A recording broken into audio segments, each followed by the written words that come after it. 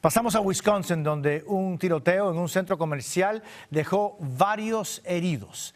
Según reportes policiales, un pistolero abrió fuego e hirió a múltiples víctimas alrededor de las 2.50 de la tarde, hora local.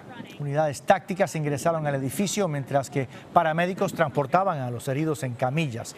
Aproximadamente 75 oficiales acudieron a la escena.